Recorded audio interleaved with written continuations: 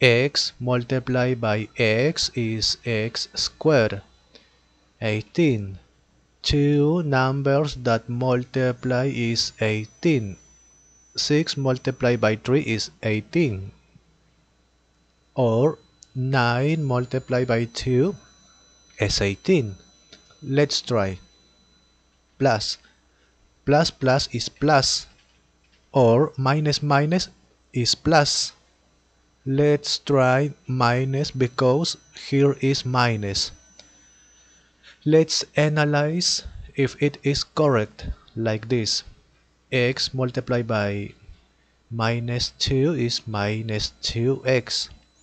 Now x multiplied by minus 9 minus 11x equal.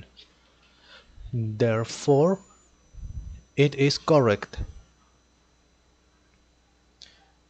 Like this, x minus 9 x minus 2 equal 0.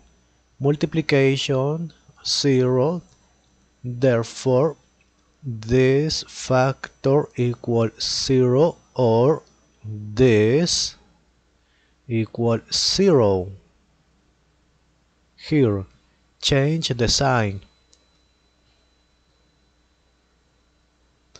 Change the sign. Plus 2 or only 2. 9 or only 9. Finish.